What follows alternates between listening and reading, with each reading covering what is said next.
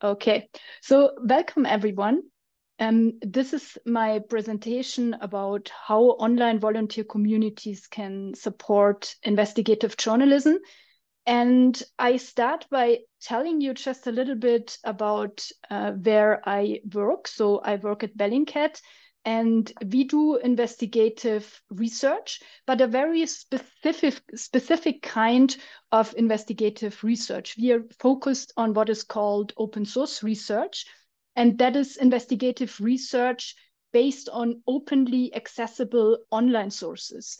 And that means we search everywhere online. So whatever we can find online, we integrate it in our work. That can be social media data, it can be satellite imagery. And most of the time, this is free to use. But sometimes we also include things for which we have to pay, right? So in our definition of what is an open source, we also include uh, satellite imagery for which we have to pay because in theory, everyone can access it. So we are a nonprofit organization mm, in the Netherlands and in the US. And um, we are here for 10 years now. We have our birthday this year. And what we do is we publish investigations, right, on our website and also together with partners, with often with newsrooms and other partners. And what is also very important for us is knowledge sharing, right? So we try to um, give many workshops to teach other people how to use the same methods and um, yeah, we, we like to share what we know because we want that more and more people use these methods. So a small definition, what is open source research? So I already gave a few ideas. And um, here you see in this definition for us, research it, it is research that uses information where the journalist which we also call researcher and what is often called the reader or the consumer if you like have equal access to information sources. And this idea you uh, try you see i tried to represent this idea on the slide but before i come back to this idea a little bit more mm, I would like to show you this slide, um, which is showing what type of open sources we use, right? So I already mentioned a little bit, but here you can see we often work with things like uh, maps and satellite imagery, starting with very simple things like Google Maps, but also um, paid satellite imagery. We look at various types of media reporting that is out, out there. So for instance, if we do research on a specific conflict, then there is already a lot of local media reporting, and often you see pictures and videos included in this video reporting, uh, in, in this media reporting, and that can be very helpful because our type of work is often very visual. Um, you will see just in a little bit what I mean. We also look at social media posts right? We look at the big social media platforms that you can see here, but we are also really um, a lot into every niche platform that you can find.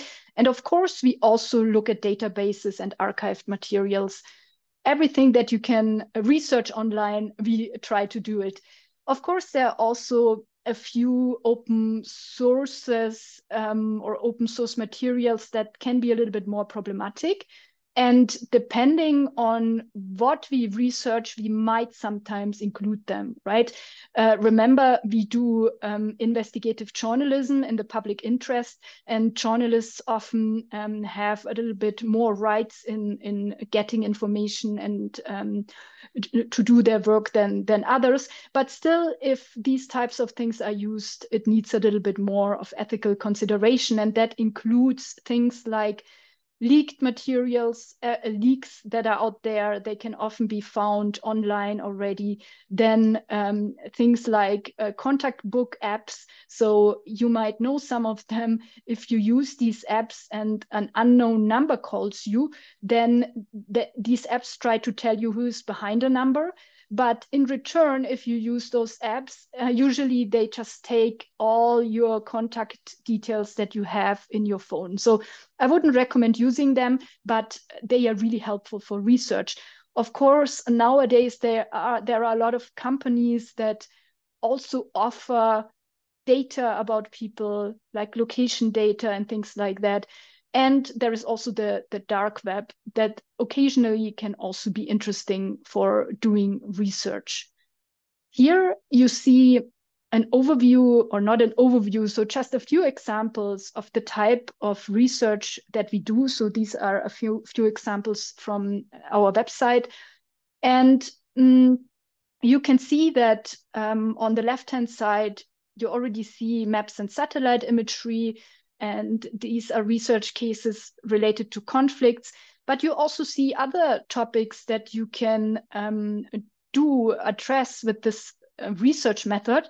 So, for instance, in the middle, one of my colleagues she looked at um, something that uh, claimed to be an AI art platform, but she found that the users there they actually generated child sexual abuse material, right? Um, I give you one um, or two examples a bit more in detail so that it becomes more clear. So here is a recent research by one of my colleagues, uh, Jake, and what he did is he um, looked at the recent death of um, the Hamas uh, leader, uh, Sinwar, and um, what he looked at is that the um, the Israel Defense Forces they shared themselves on their Telegram channel images and, and videos um, saying that uh, they show they are showing where he uh, was killed, and you see some examples on at the bottom and on the left uh, on the right hand side of the screenshot what uh, this material showed, and he looked very closely at all of this and tried to spot specific features that stood out to him and tried to find the same location on satellite imagery and you see that um, the matches are have the same color. So the one has a red box at the bottom, and you also see this at the satellite imagery. And this process of identifying a location by looking at photos or, or videos and spotting specific features and then trying to find the location and verify the location um, by using reference material like satellite imagery or maps. This is called geolocation, and this is something we do very often. Um, another example is from my colleague Iman, and uh, she looked at a case where uh, a journalist from uh, in, in Kenya, she was uh, shot in, in the thigh while uh, being present at a protest location. So there were protests against the finance bill that, that would increase uh, taxes. And she was there as a journalist. And um, then she was uh, shot from a police car.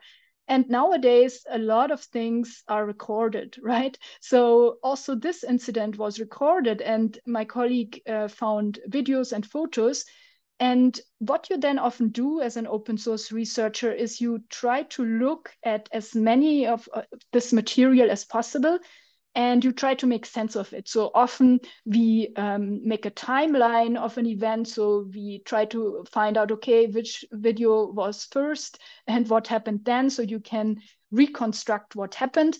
And the goal is, of course, as with any type of, of investigative research, is to find out, okay, um, what happened here? In our specific case, we often start with the question, um, where did something happen, right?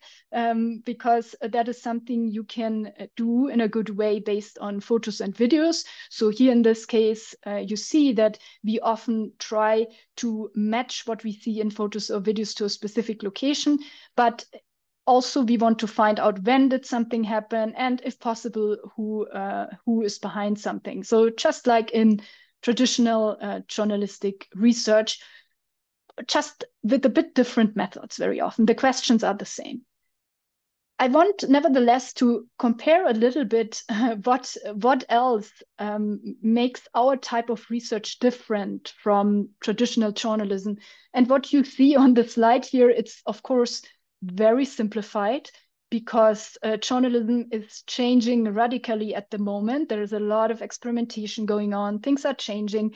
But in a very simplified form, you can see that traditionally journalists had a specific task.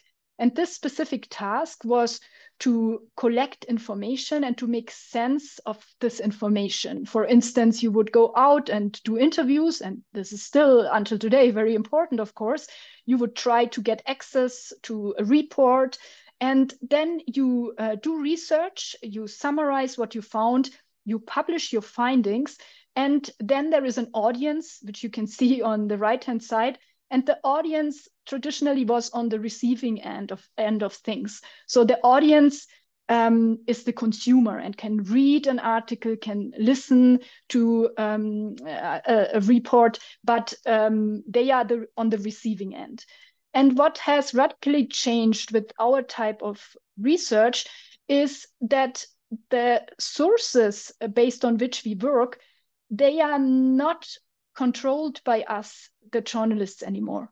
So nowadays, since we work based on open sources, everyone has access to exactly the same open sources.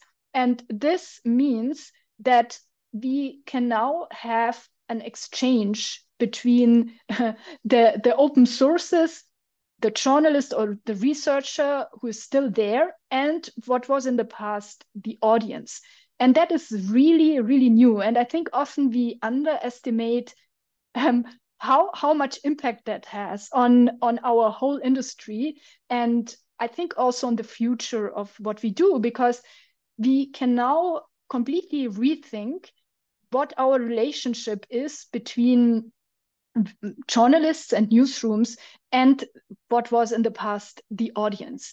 And this is exactly the space we are focused on because uh, our work is really deeply embedded in online volunteer communities. So we are relatively young. We um, we we um, are founded in 2014, and we really have emerged rather from within volunteer communities, and that's why until now this is a very important aspect um, of our work.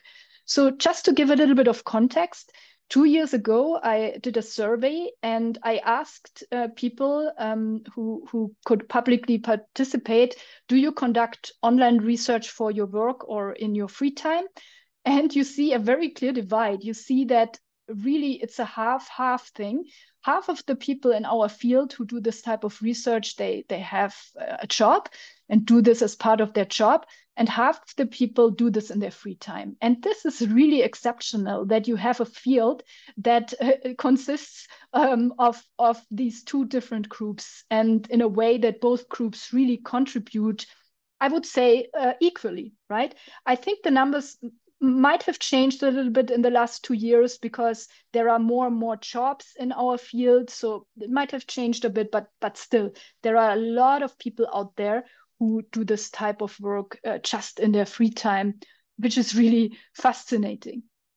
And this is um, from our annual report. And here we have a nice visualization of how we, as a nonprofit organization, we see ourselves embedded in a community ecosystem. So you, you can see that there are several layers. And we also have an outer layer, of course, right? And the outer layer, one could say it uh, corresponds uh, more and or less with um, what was the audience in the past. So these are people who read articles, who um, look at social media posts. So they they consume more. But then we have other layers of people who actively contribute, and these are research contributors. They they contribute in various ways to what we do. And um, we also have a formal volunteer community. I will talk about that more, but in this layer, we already work quite closely um, with volunteers. And of course, we also have staff members and so on. But we really have this ecosystem, and we think that we are part of a big network, and all of the layers are necessary. And I will talk about a few of the things we do with volunteers uh, today and um, I will focus on the following. So first of all, to understand there are two different um, ways of how people uh, volunteer for us, with us, work in our network. The one is more public and more informal. These are the people we don't necessarily know, but they might answer to requests for participation via social media posts, right? Or they might be in our public Discord server. I will talk about that more in, in a bit or they might contribute to contribute to tools on on github right on publicly available tools and on the other hand, we have also um, contributions um, that are a bit uh, less public and maybe a bit more formal. And this is our formal volunteer community. These are things like hackathons and um, also working with research contributors.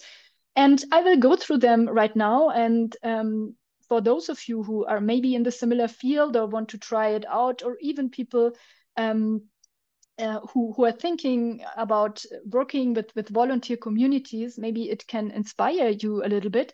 So we started quite early on really to involve the public very often in our work. And this um, was specifically on Twitter for a long time. So Twitter was a very important uh, platform for us. And you can see here an example of how that often worked. So um, Bellingcat for a long time was researching the downing of the, the passenger flight um, MH17. So um, this was uh, shot uh, over um, eastern Ukraine. It was a flight from, from Amsterdam to Malaysia. And um, there was a long investigation ongoing and um, we, we were basically tracking um, on social media public based on public sources. And and uh, for instance uh, this vehicle that you can see on the right hand side just to try to find out what happened there.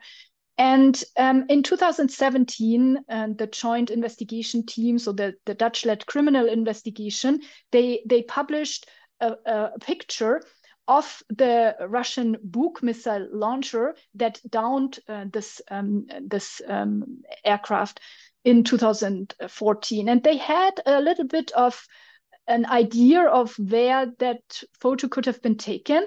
So uh, they gave the name of a town, but it wasn't really clear. So what Bellingcat did is to publish or to, to share, further share this photo and to ask for tips from the community uh, to see whether someone can find out the location. And as we have seen over and over again in many different cases, um, actually, yes, the community is often able to find out the location. So here on the um, on the right hand side, you see a photo from exactly the same location, and um, with the help of the community, community, it was then very easy to to pinpoint to the exact location, which was in in Donetsk at this intersection that you see here. Okay, so that was traditionally our way how we we uh, worked uh, in the space of of crowdsourcing, use crowdsourcing a lot, and interestingly, there were also academic researchers who looked at our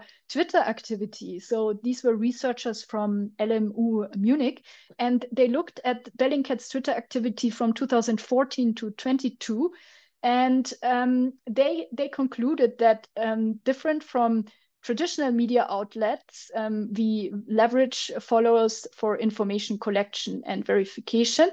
And hence, uh, we use a bidirectional communication on social media. And they also found that, okay, um, we actively engage with, with our audience in, in crowdsourcing information, and we don't only do self promotion. We uh, frequently launch tweets to encourage participation. And also, um, different from traditional media outlets, um, we don't only um, share reports from from ourselves right? The self promotion thing. Um, but yeah we are also interested in in uh, sharing other things uh, from other organizations. So that that's what the academic researchers found. Um, and i want to add that nowadays of course we are not mainly active on twitter. We also have added many other channels. So one of the things we do is that we have a public discord and we have 30,000 members on this Discord now. So that works uh, really well. And this is a space where people who are interested in this type of research they can join and they can discuss. Um, sometimes people ask for help, for instance, to find the location of um, a specific um, uh, uh, photo, what can be seen on a photo, and so on. So various things are going on there. So this is for us um, the the most public space that we have because everyone can join this Discord, and sometimes there are really interesting uh, collaborations start in this Discord, also between the people there and uh, other organizations. So that is uh, one thing. Mm, and we also try to involve um, people in research processes and to share with them the resources that we have. So I already mentioned at the beginning that we work with satellite imagery a lot. And satellite imagery can be used for free sometimes, but if you need satellite imagery from a specific location and you need a high resolution imagery, then it can often get quite expensive. And not many people can afford that, especially if they are volunteers, right? So, luckily, we have a subscription and we can even send a satellite to a specific location. We, we can basically task um, to get a specific satellite image uh, from a specific location. And sometimes we involve the public and we just publicly ask, okay, where would you like to um, send the satellite and tell us why? And people make really interesting suggestions. And here's one example from just recently, we did uh, one of these. Um, and uh, one person told us to um, send uh, the satellite to North Korea to uh, uh some to a, location that is believed to to be a camp, to detention and labor camp. So um, that was one uh, satellite imagery that was requested, and we then made this public again so that everyone can look at it, or maybe people can also do their own research based on that if they want. And um, another person requested that the satellite uh, is sent to um, Eastern, the Eastern Democratic Republic of the Congo. And what you can see here on, on the imagery is that it shows that uh, refugee camps near a town called Goma, they have been uh, growing. They, they, yeah, they have become bigger. So mm, the public really, people really have very interesting uh, ideas also for things that that can be researched. And um, we don't pretend we know better what needs to be researched or not. So we try to to um, involve people as much as we can. As i mentioned earlier we also build tools um, with our community. So on, on github for those of you who don't know it's it's a platform where um, where coders like to be and um, share tools and build tools and collaborate. So we also have various tools where people can just collaborate. And um, we also try to um, collaborate as much as possible um, sometimes at least in person. So we have hackathons where we really try to invite people, either people who are interested in, in building tools for our type of research, so tools that that really help researchers, or also people that are interested in doing research. And sometimes this um, work with the community really leads to concrete tools being built. And I just give one example here. Um, one of our colleagues, he uh, is really mainly there to uh, collaborate with the with the um, technical community, and he recently built a tool that is called a grid generator tool. It's it's publicly available um, as uh, most of the tools that we built, and um, this tool does the following. So I already mentioned that we do a lot of research with satellite imagery and maps. And often nowadays people also collaborate. So people might only have a vague idea where a specific picture might have been taken.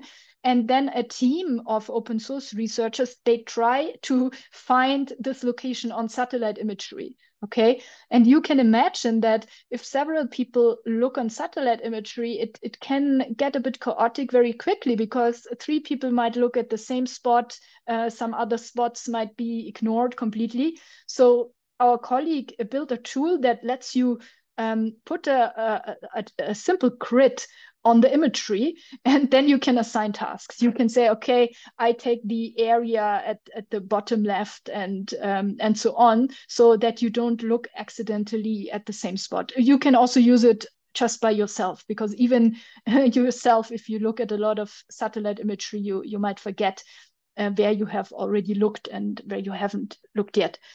Mm. and then of course we try to collaborate also with experts in different domains who are not journalists per se, but who uh, have a lot of knowledge in a specific area. And this we do with either our fellows, but also with external contributors who can also publish on our website. And here you see, here is a person who is a lecturer, right? And um, he built as a fellow with us uh, an amazing uh, tool that can locate active military radar systems. And um, yeah, he also published on, on our website. And I feel that this way we also have a lot of knowledge exchange, for instance, from the academic community who often doesn't publish in that way in uh, traditional media right? It's not it's not an op-ed here. It's really uh, an in-depth uh, research and findings and so on. And we find that very valuable. So i'm a big fan of this exchange between the journalism world and the academic world which can be a bit tricky but it, it works with with a bit of creativity. And then of course we have um, uh, also on top of all of that, we have a formal volunteer community. And what that means is that we select volunteers. They, they have to apply. So we have a website and then people can just apply.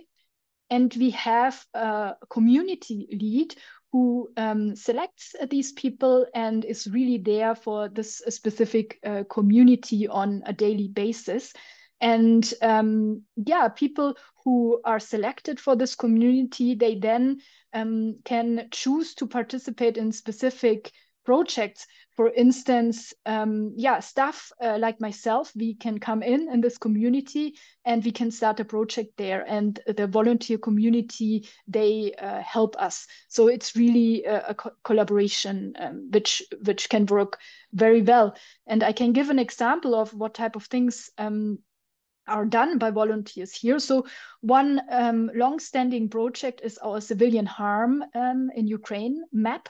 This is online, this map, so you can have a, look at this map. And what we do here is um, we document incidents of or possible incidents of civilian harm in Ukraine. And as always, we usually look at social media, right? First of all, the first step is to identify or to find online posts that that show something that could um, potentially be a case of civilian harm, like a building that is destroyed and so on. So the first step is, is to find these posts in, in social media and so on. And then usually we directly archive these things because things that you find on social media, they can be gone the next day. So archiving is, is very important. And we also have a, a, tool for, for that. And then the next step is to find out more about what can be seen on the social media post. Can we find out the location? Can we find out the time maybe? And once this is done, it is uh, put on the map and it's an ongoing thing. So um, it really tries to, to uh, document what is going on in Ukraine. It's of course not complete, right? Um, and also not everything is on social media. That has to be very clear.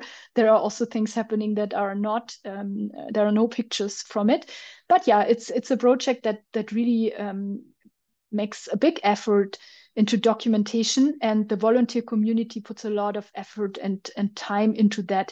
And of course, also staff members are always involved in our volunteer projects, right? It's never the case that um, it's just the volunteers, but there's always a staff member who who um, is there as a bridge, basically, um, and um, between the organization and the community.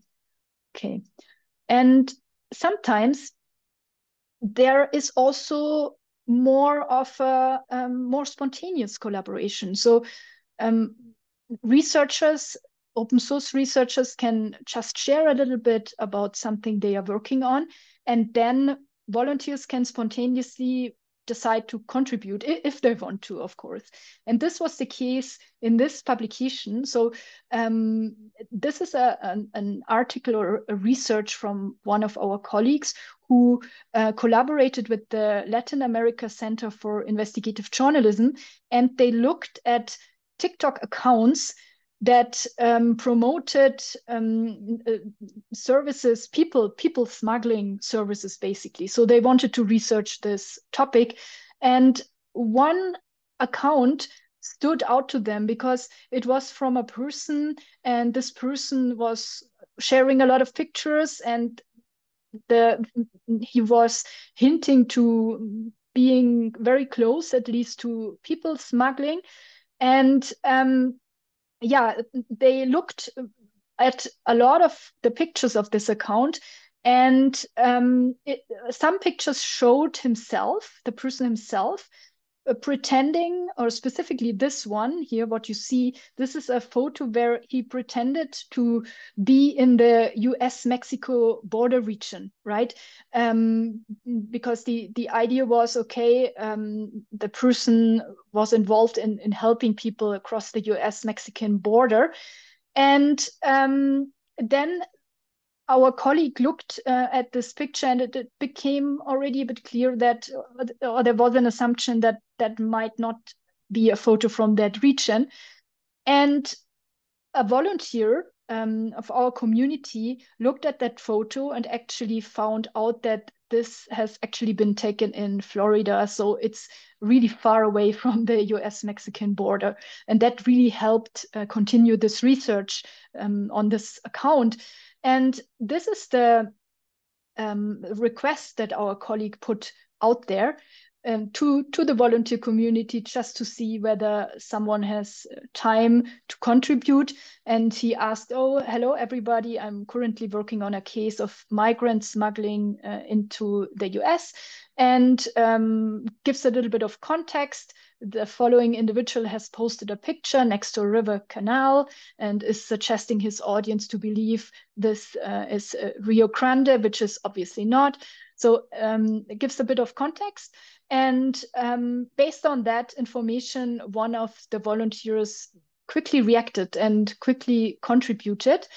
And uh, as I said, identified the real location. And I asked her when I prepared for this talk, what motivated you to answer to this to this message and um, she basically said the following so she said the main motivation of course is just to jump at any opportunities to put my trainings in practice especially with the real and high impact investigation and build on more practical experience but she also said in addition I was aware that the volunteers who were also geolocating the photos were very good. So I thought there was a possibility of us being successful in the task. So what I see from this, and I have seen this over and over again, is that volunteers are really motivated in, first of all, um, being involved in research that is important can have an impact but they also want to work with other good people right so they also want to work with other volunteers because they want to learn from each other. It's probably not very motivating to be in a group of volunteers who are all lazy and not doing much. That's at least my assumption. So um, it's important if you're working with volunteers in some way. I think that there are several people who are motivated in the group. I give another, another example, and this example is actually from Aiganysh, um, who is uh, also here in the chat. And Aiganysh, please feel free to, to share in the chat uh, anything that comes to mind, because you know this much better. I just give a very short um, summary, but that doesn't capture the whole research. I mainly focus now on um, what the volunteer involvement was here, right? So um, what what what this research is it's basically uh, focused on narrowing down where um, an alleged um, cartel member um, was located in a, a, skyscraper in in Dubai. and his partner shared um, this picture that you can see on the left hand side. And Aiganysh, correct me in the chat at any point in time if I say something wrong. And based on this, um, it was possible to locate the exact location with the methods that you have already seen in this presentation. But what was specifically important here was to also find out the floor the level, right? It's a skyscraper, and it it was important to find out the specific um, level, uh, the floor number um, on which um, the person is here in this big building. And I cannot go into the detail of the method here. We don't have the time, and Aiganysh is anyways much better explaining this. So I recommend uh, you reading her article where she explains how exactly she did that.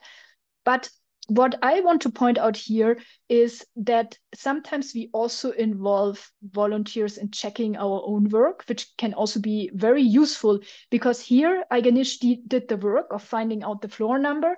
And then there was a, someone from our volunteer uh, community who um, also looked at the same research question and also independently confirmed the floor number, which was of course helpful, right? So you can even use volunteers in investigative research to check your own work, which um, I think is something, especially from a journalism perspective, we we don't often think about, but it can be really really helpful. Mm, it's also um, really working to involve volunteers in non-research work, and that is something I have been doing for a while now. So I have um, last year I had the chance to to do a fellowship, uh, a Nieman Berkman Klein fellowship um, here at Harvard, and during that time I was really thinking a lot about tools because for our type of work you need a lot of tools that help you do your research that can be maps or satellites but it can also be things like flight tracking tools or uh, various things. And I learned um, from many open source researchers, I also conducted interviews that this tool environment is very confusing for everyone because you need so many tools and you often don't know which tool to use for what.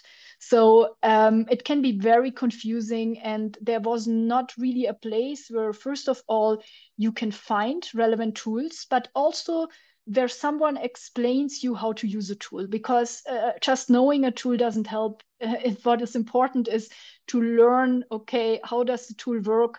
What also are its limitations? In which research case should i even bother to try it out? Because in some cases uh, it might just not be useful. So I um, used uh, my time to to build uh, this toolkit, which is also online. And from very early on, I also included um, our volunteer community and what they did. So here you see uh, this toolkit and you see it has different categories uh, for different research areas. And then if you go in a category, you see a list of tools.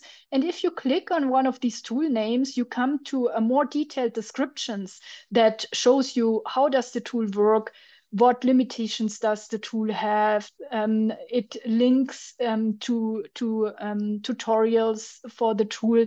And these descriptions are written by our volunteer community. And they also maintain these descriptions because tools change so quickly. So um, nobody in the world or in our field can can keep an overview of the tools and what is working and what isn't. And our community um, is doing that. And that has really been for me an amazing experience also because i involved them quite early on which means that many things were not yet defined and they helped me really define the whole project in a way that i think made it much better than i could have uh, done it alone because i only have one perspective even though i talked with a lot of people but um, it's a different thing um, talking to people uh, compared to really involving people in a project. So one thing that I learned from our volunteers, for instance, is that we really need to put more emphasis on um, reflecting on the tools we are using, right? So there are always ethical considerations with the type of work we do because the same method you can use to do research in the public interest, you can also often use it to stalk someone, right? So we work in a really sensitive area, and that's why it's really important also to think about what tool do we use, uh, what does that mean, and it came really from our volunteers that they suggested several times that we should have a specific overview page with a reflection uh, on specific types of tools. And based on this request, we included such a page, and the volunteer wrote this. And we have gotten a lot of positive feedback on this.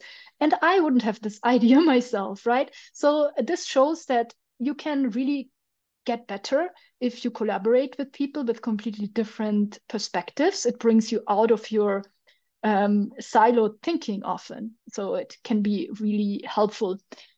And the question um, now is, of course, who is volunteering in this type of online research, right, in this space, and and why?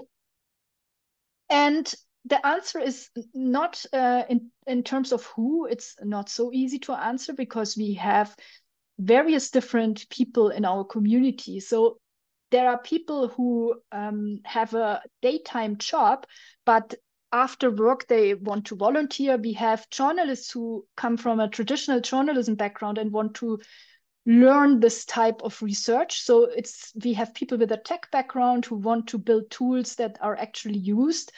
So they are very diverse, but the motivation is more clear. So over the years, what, what volunteers have told me, it's always the same. So the number one reason is often that they want to contribute to research um, that that is of public interest and that can have an impact. And the thing is that in traditional journalism, there was absolutely no way for volunteers to contribute to research, right? If you don't work for either an academic institution, for a newsroom, or any other research institute, it's very difficult for you to to contribute to research um, of a bigger scale and this is what people are really ready to do in their free time because it gives them something back it gives them the feeling okay I am not just a consumer and read the negative news over and over again, which makes me depressed and I can't do anything anyways against all these things that are happening. I can actually contribute by researching and finding facts and um, make a contribution. And often people are also interested in um, doing research where they live, right, in their country to, to contribute to, to create knowledge basically uh, for the region where they are living. The other motivation is that they want to learn these skills, right? And um, so that they maybe can find a job in this space or maybe just to apply them to, to something they are already doing. And um, they want to join a community of people with similar interests because it is not very fun to just work completely alone. For some people, it's the right thing, but I would say for many, it's nicer if you have someone to talk to who has a similar interest to what you're doing. And based on all these experiences, I um, made here a few a few tips, summarized a few concrete tips. If you either want to work with volunteers in the space of open source research, so everything that has to do with searching for information online, or also overall with volunteers. And um, the first thing to understand is really that the type of research we do is very new. It's a new form of investigative journalism. It, it has entered more and more newsrooms in the last few years, but we are still invest, um, experimenting with a lot of things. So a lot of things are not yet finally decided. And it has, the whole field provides a lot of potential to try out new forms of collaboration between journalists and people who do open source research and people with completely different backgrounds. And the key thing is to be creative, especially from the perspective of uh, the journalism industry. I think it's also important that we question our own role. So the old role of a journalist who collects information, who has the, the sole power of the information, is this still a role that makes sense nowadays? Maybe in some areas, yes, but maybe not overall. So I think by testing these types of collaborations, we can really ask ourselves what parts of our own role definition we maybe should let go and what parts we also don't want to let go. And um, what I often see, especially with journalists, is that we are afraid of collaborating with volunteers because it's easier to collaborate with other journalists, right? We understand each other more easily. At least that's the assumption, I think, in our mind. And it, there's always the fear of losing control. But in particular, with our type of research that is based on open sources, there is really not much to lose because the sources are already public. So it is much easier to collaborate in our space than in others because in traditional journalism imagine you have to send a volunteer to do an interview and you have no idea has this interview taken place or not? You cannot verify it. You just don't know. You need to trust. With the open sources it's completely different. You don't need to trust necessarily because the sources are out there. You can just double check and that opens so many possibilities and makes it so easy. So we can experiment a bit more uh, i think. So um, what works really well and you have seen it in my examples is that um, volunteer communities can go through much more data than one person alone can do right? So groups of volunteers are really good at collecting open sources and verifying open sources for a specific research project. So here you see a sheet that we use often that is our auto archiver where volunteers can just drop in links of social media posts that they found and it gets automatically archived so people can collaborate on, on this sheet. And geolocation, this process that I explained earlier, is also really good for a volunteer project because it's often easier to work together. These processes can be long. And if more people are involved, the chance of finding the right location is often higher. Um, as I mentioned before already, it's always, it makes sense to, to, to group volunteers that are interested in in developing specific skills like geolocation or who have already specific skills or knowledge. And because it's easier to work in a group of motivated people with similar interests. And um, we also found that working with volunteers can either be done in a long term project, like our Ukraine uh, project goes over years now already, but it can also be just a short term thing that takes two days, right? And as I showed, it can also be um, outside of research. It can be a toolkit, for instance. The main rule for working with volunteers is really treat volunteers as equals and not as assistants. So this is something I feel is very difficult for journalists often because I have seen a lot of projects out there that just ask volunteers to provide information like okay here i created a platform please upload information to this topic. And the question is why should a volunteer do that especially nowadays? They can share this on their own social media account. So volunteers are not assistants that that you just use uh, and they do what you want and nothing is coming back. It's it's always it's always a give and take that needs to be very clear. And I think in journalism we can learn more about that.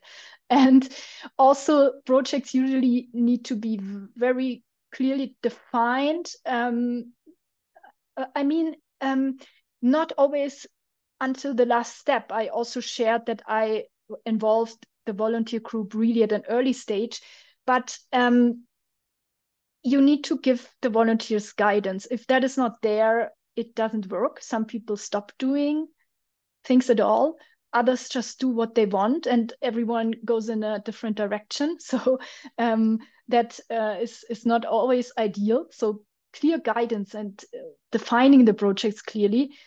Then providing learning experiences if you can. So providing workshops having staff members involved, sharing knowledge with them on how to do specific research is super uh, important and can be super useful.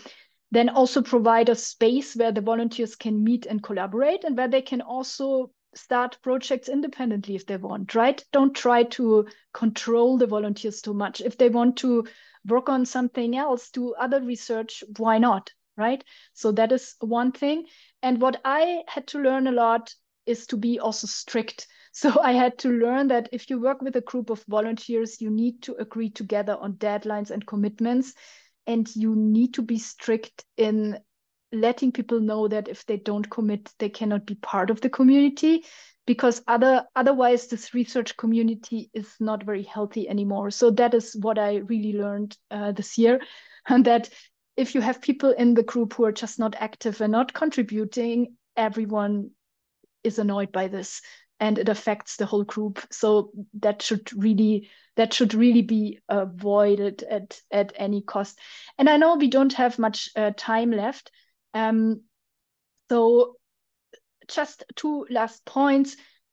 It's very important in such investigative research projects that staff members are really involved in some way because otherwise you have a volunteer community that is completely detached from the journalism organization or world and that creates a disconnect and i think that as a volunteer you also feel like you're not really valued so it's really important that staff members are in some way involved with the volunteer community, even if it's not on a daily basis. And finally, um, be aware that working with volunteers also requires a lot of time. So if you are not sure whether you have the time and, and it, it requires time, then rather don't start it because the worst thing you can do is to drop a, a research project on volunteers and then to disappear. So that doesn't work. It also just needs a lot of time. Yes. And um, I will skip a little bit for those who are interested to have a few more slides. I can uh, share them with you. You can contact me um, at any point in time, and I will finish with my presentation right now. And if you have any more questions, I know some of you most likely